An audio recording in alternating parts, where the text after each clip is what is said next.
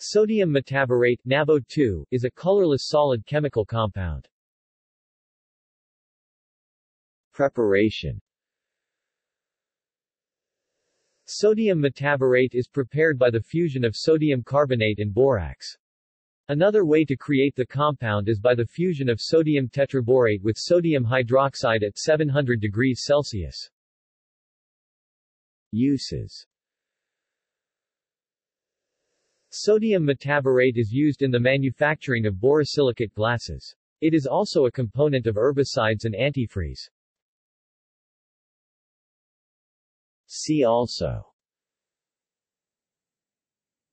Borate References